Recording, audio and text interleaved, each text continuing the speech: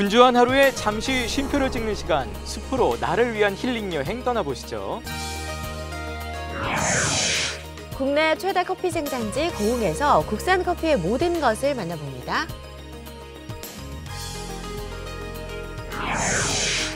바다의 더덕, 미더덕이 제철을 맞았습니다. 향긋하고 짭짤한 바다의 향을 느껴보시죠.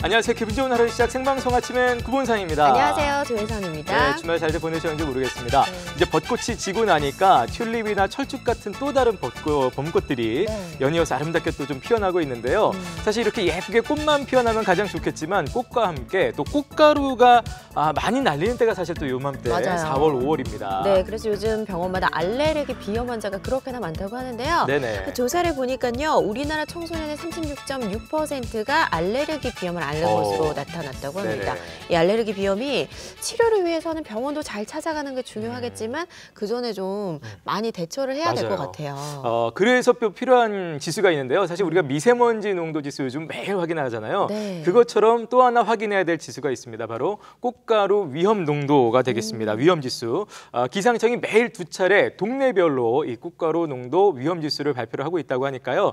아, 꽃가루 때문에 늘 고생하시는 분들은 이거 꼭 한 번쯤 살펴보시면 좋을 것 같아요.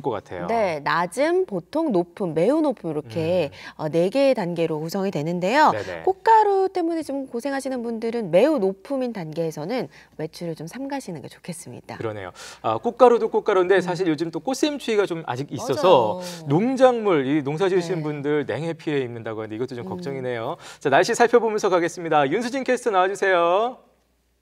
네, 안녕하세요. 네, 윤수진입니다. 반갑습니다. 아니 오늘 아침 새벽만 해도 아직은 새벽에 좀, 추웠어요. 예, 네. 좀 오도도 춥더라고요. 예, 음. 수진 씨 약간 추웠을 것 같은데 날씨 자세히 전해주시죠. 네, 월요일 아침 하늘빛이 흐립니다. 오전에 비 소식이 예보돼 있는데요. 낮 동안에도 빗방울이 떨어지겠고요. 오후까지 오락가락 이어지다가 밤에 대부분 그칠 것으로 보입니다. 그 사이 예상되는 비는 5mm 안팎으로 적은 양이 예상됩니다. 계속해서 자세한 지역별 날씨 알아보겠습니다. 오늘 아침은 어제 같은 시각과 비슷하거나 낮은 기온을 보이고 있습니다. 현재 아침 기온 보시면 음성이 7도, 충주와 진천, 증평이 6도, 보은과 괴산이 5도를 나타내고 있습니다. 다음은 낮 최고 기온 살펴보겠습니다. 낮 기온도 크게 오르진 못하겠는데요. 평년 수준을 밑도는 가운데 대부분 지역이 12도에서 18도 안팎에 그쳐 다소 쌀쌀하겠습니다. 현재 위성 영상 보시겠습니다. 충북은 곳곳에 옅은 안개가 끼어 있고요. 오늘은 대기 흐름이 원활해서 공기질도 깨끗하겠습니다. 내일과 모레도 또 한 번 비 소식이 들어 있습니다. 이후 주 중반부터는 맑고 따뜻한 봄 날씨가 이어질 것으로 예상됩니다. 아침에 일어나면 잠을 깨려고 커피부터 찾는 분들 계시죠? 그런데 이때 마시는 커피가 두통을 유발할 수 있다고 합니다. 기상 후 2시간이 지나고 오전 시간대나 오후 1시부터 5시 반 사이가 커피를 마시기 적당한 시간이라고 하네요. 지금까지 아침의 날씨와 생활정보였습니다.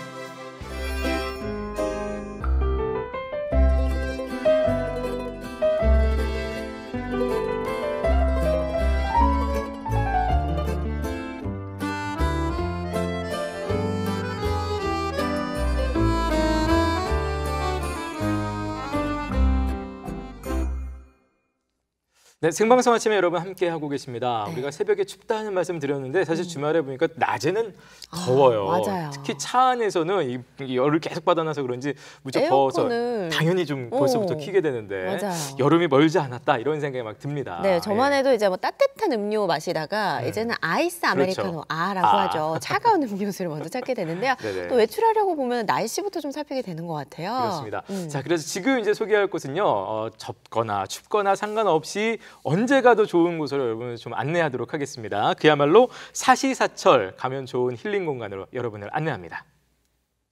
오늘도 많이 바쁘신가요? 분주한 하루에 잠시 쉼표를 찍어가는 시간 필요하시죠? 그렇다면 여기 우리 곁에 숨쉬는 숲으로 떠나보시죠. 사시사철 다양한 모습으로 우리를 반겨주는 내 곁에 가까운 숲에서 건강과 행복 함께 챙겨보시죠.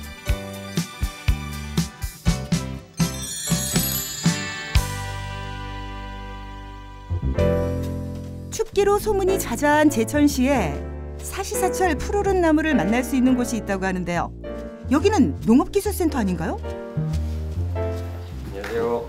어 안녕하세요. 예. 저 여기 저희가 제가 식물원을 찾으러 왔는데 아, 예. 식물원은 어디 가면 볼 수 있나요? 예, 저 따라오시죠. 우선 따라가 보는데요. 네, 여기가 성정 식물원입니다. 아하, 청정식물원 바로 이곳이었군요. 벌써 19년째 시민들에게 청정한 자연을 선물하고 있다고 하는데요. 무엇보다 무료로 즐길 수 있다는 게 최고의 장점이라고 합니다. 제천 도심에서 30분 내 거리에 추운 겨울이나 더운 여름에도 즐길 수 있는 식물원이 있다니 점점 더 궁금해진대요. 선생님, 저 식물원에 대해 좀 알고 싶은데요. 예, 제가 소식해 드릴게요. 이쪽으로 오시죠. 꼭 소개해주고 싶은 나무들이 있다고 하는데요. 아, 여기 보시는 나무는 이제 야자나무고요. 일단 밖에서는 좀 기르기 힘든데 어쨌든 식물원 내에서는 이렇게 남미에서 온 이런 야자나무도 볼 수 있습니다.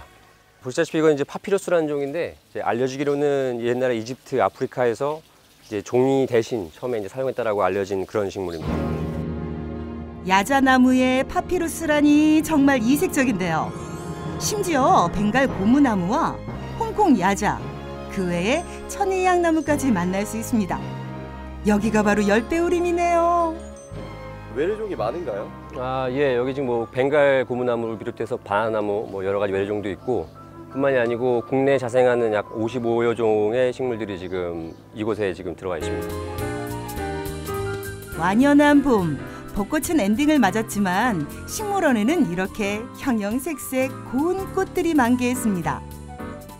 화려한 색감의 양귀비를 시작으로 50여 종의 화초류, 열대 식물이 어우러져 즐거움을 선사하는데요. 갑자기 앉으면 넘어진 건 아니죠? 아니에요. 저 누, 누 시민들도 주말을 맞아 많이 찾아왔네요. 아이고 우리 애기는 여기가 편한가 봐요. 아예 누웠네 누웠어.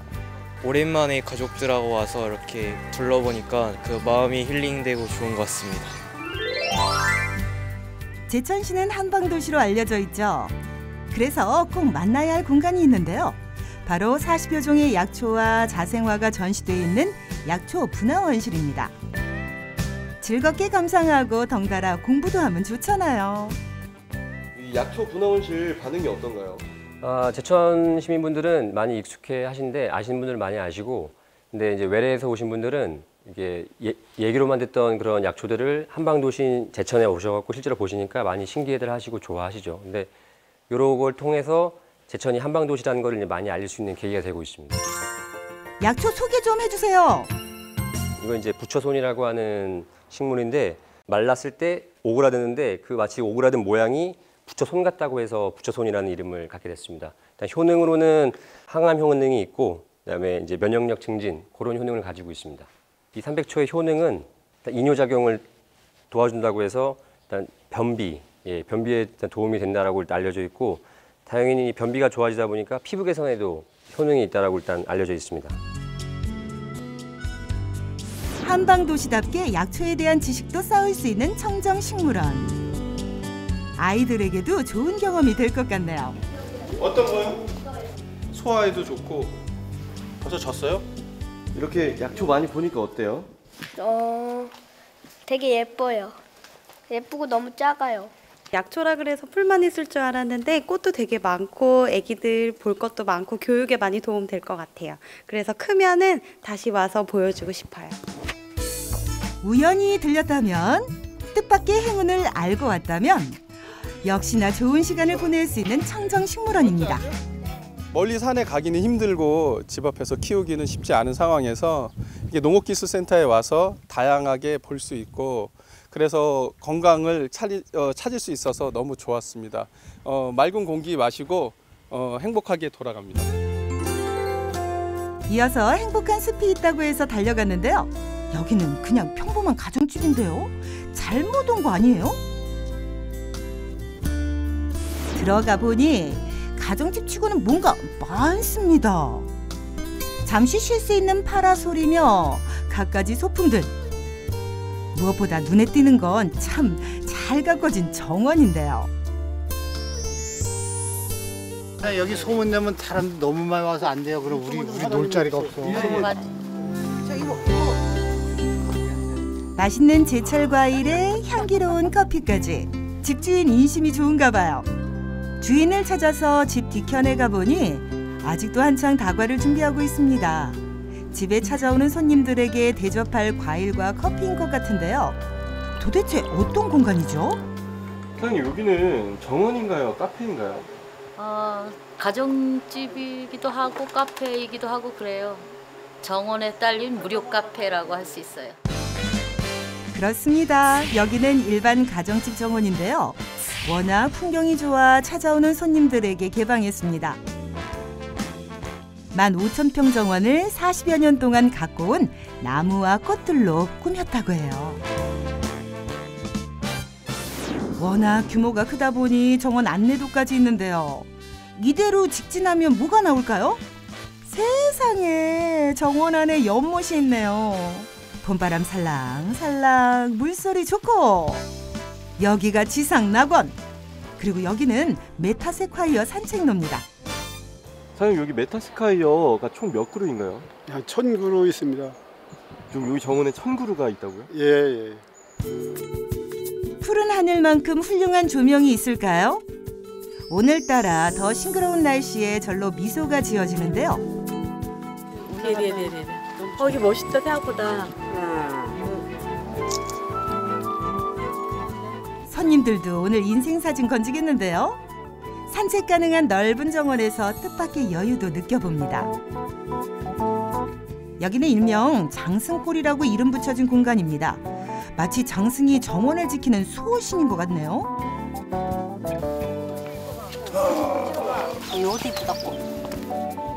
손님들이 오르내리는 길도 평범하지 않습니다. 부부의 힘으로 지게를 지고 날라서 만들었다는 사실. 정원에 쏟은 애정이 정말 어마어마하죠. 심지어 높은 지대에는 전망대를, 손님들을 위한 체력장과 음악회를 할 수 있는 작은 공간까지 부부의 정원에 오면 산림욕과 더불어 곳곳을 찾아다니며 소소한 행복을 느낄 수 있습니다. 점점 더 부부의 이야기가 궁금해지는데요. 우리 이제 귀촌에서 살다 보면 할 일 없이 그냥 있으면 안 된다고 이 양반이 소일 삼아 저 꽃 좋아하고 나무 좋아한다고 그거 심고 그걸 소일로 하자 이래서 시작을 하게 됐어요. 이 아이디어나 이런 디자인은 누구한테서 나오나요? 예, 집사람한테서 다 나오죠. 그래서 집사람이 얘기를 하면은 지가 즉각 즉각 실행에 옮기죠. 나무에서 분비되는 피톤치드는 항균 작용을 한다고 하잖아요.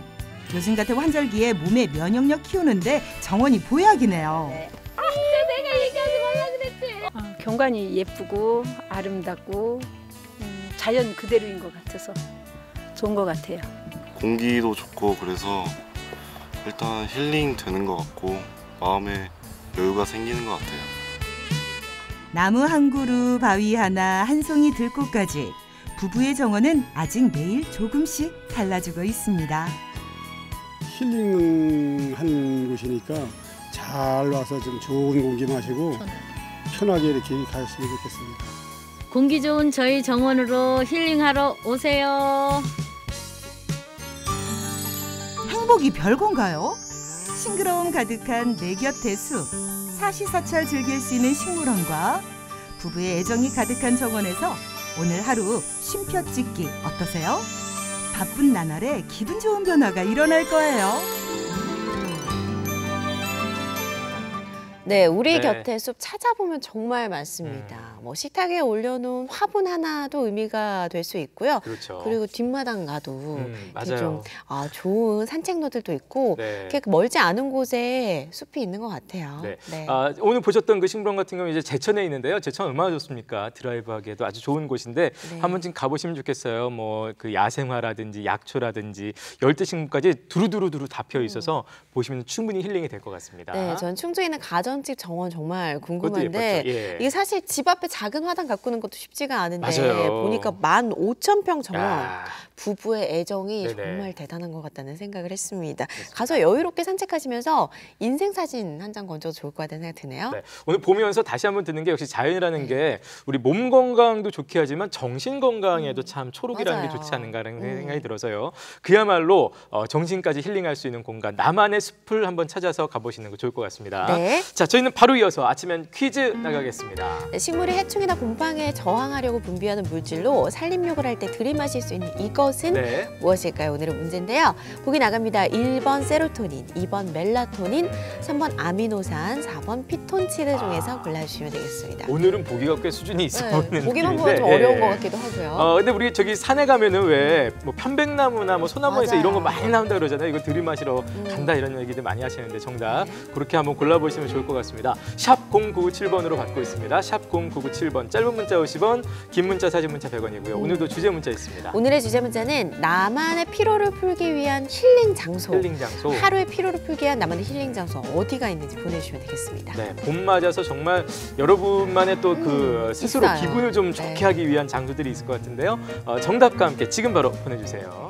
흔히 네. 커피 맛은 원두에 따라서 그러니까요. 달라진다고 하잖아요. 국내에서 생산된 이 신선한 음. 원두를 로스팅해서 수출한 커피 얼마나 맛있을지 궁금합니다, 아, 진짜. 궁금해요. 네, 네. 특히 이제 specialty 커피를 만드는 그 바리스타일수록 커피 재배 그 원산지 농장과의 관계도 굉장히 중요하다고 하는데 국내에서 저렇게 커피콩이 이렇게 잘 생산되는 곳이 있는지 몰랐거든요. 아무튼 전남 고흥으로 커피 좋아하시는 분 꼭 다녀오시기 바라겠습니다. 네. 자, 저희는 아침N 퀴즈 한 번 더 나가겠습니다. 네, 식물이나 해충, 시- 식물이 해충이나 곰팡이에 저항하려고 분비하는 물질이거든요. 네네. 삼림욕을 할 때 들이마실 수 있는 이것은 무엇일까요? 보기 나갑니다. 1번 세로토닌, 2번 멜라토닌, 3번 아미노산, 4번 피톤치드 네. 중에서 골라주시면 되겠습니다. 우리가 그 숲속으로 들어가서 이게 막 숨을 막 막, 아, 막 이거 이거 마실래? 막 이러면서 막 들이십니다, 여러분. 네. 예. 자, 문자는 샵 0997번으로 받고 있습니다. 샵 0997번. 짧은 문자 50원, 긴 문자 사진 문자 100원이고요. 주제 문자 함께 있습니다. 오늘의 주제 문자는 아, 하루의 피로를 풀기 좋은 나만의 힐링 장소 나만의 힐링 어디 장소. 있는지 예, 예. 한 군데는 있을 것 같거든요. 보내주시기 바랍니다. 뭐 아니면 본인 그 베란다에 이렇게 막 화분들을 놓고 키우시는 분들 좋고요. 있잖아요. 나는 거기만 가면 나의 힐링 장소 이럴 수도 있습니다. 여러분만의 힐링 장소 정답과 함께 지금 바로 보내주세요. 네. 미더덕 오랜만에 구경하는데 진짜 진동 미더덕 다들 진동에 와서 이렇게 음. 사가시네요. 네, 예. 저는 오늘 확실히 알았습니다. 미더덕과 오만둥이가 늘 헷갈렸었거든요. 어, 예. 네. 아, 진, 그 진동의 미더덕 보니까 아까도 잠깐 고 이렇게 가사가 나왔습니다만 손대면 톡톡하고 터질 것만 같은 그대는 바로 미더덕이었다는 미더덕, 거 네. 처음 알았네요. 자, 이렇게 미더덕까지 잘 구경했고요. 어, 저희는 월요일 좀 찌뿌듯한 그런 느낌인데요. 1부부터 보시면서 몸을 좀 가볍게 풀어보시죠.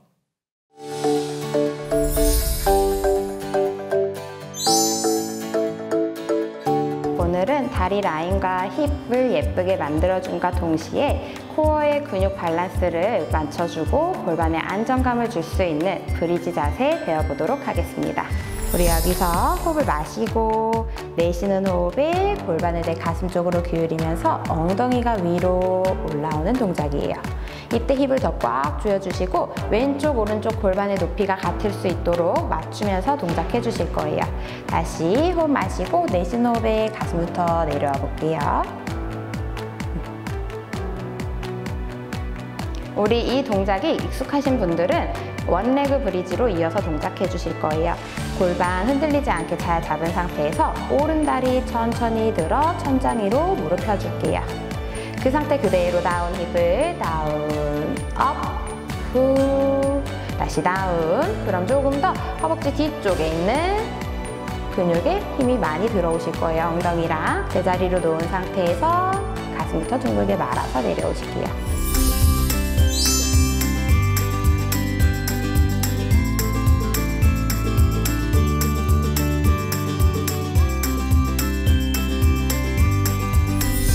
호흡을 마시고 내쉬는 호흡에 골반을 내 가슴 쪽으로 기울이면서 천천히 엉덩이가 천장 위로 쭉 끌어올려 주실게요. 이때 골반, 왼쪽 오른쪽 골반의 높이를 맞추면서 동작을 해주시고 엉덩이 더 꽉 조이고 허벅지 뒤쪽에 힘이 들어가는 걸 느끼면서 동작. 올라왔을 때는 힙을 더 꽉 조여주시고요. 허리가 너무 꺾이지 않게 배꼽은 등 뒤로 붙여주실 거예요. 다시 다음 호흡을 마시고 내쉬면서 브리지로 동일하게 up 올라오실 거예요. 천천히 오른발을 바닥에서 떼어내 천장 위로 쭉 뻗어내 줍니다. 그 상태 그대로 힙을 아래로 down, up, 다시 down, up. 좀 더 허벅지에 힘이 많이 들어오는 걸 느끼실 수 있으실 거예요. up,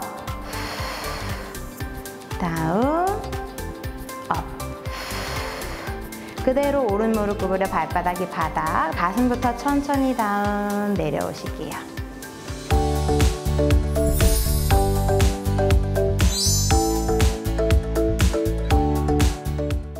네, 표선 선생님과 함께는 1분부터 저희는 만나봤고요. 네. 아침엔 퀴즈 정답 그리고 당첨자 이제 발표하겠습니다. 네, 식물의 해충이나 곰팡이에 저항하려고 분비하는 물질로 네. 어, 살림욕을 할 때 들이마실 수 있는 이것은 무엇일까요? 오늘 문제였는데요. 네. 정답은 4번 네, 피톤치드였습니다. 워낙 유명하니까 많이들 아실 것 같습니다. 네. 저희가 세 분을 뽑아봤습니다. 네, 휴대전화 뒷번호 5585님, 1654님, 4393님 네, 축하드립니다. 세 분 축하드립니다. 5585님도 좀 살펴볼까요? 네, 어, 직접 캐, 어, 할머님 댁이 음, 이제 아. 나의 힐링 장소라고 하시면서 네네네. 직접 캐신 냉이 냉장국이랑 두릅전 먹으면 할머니 표 피톤치드가 와. 마음으로 올라옵니다.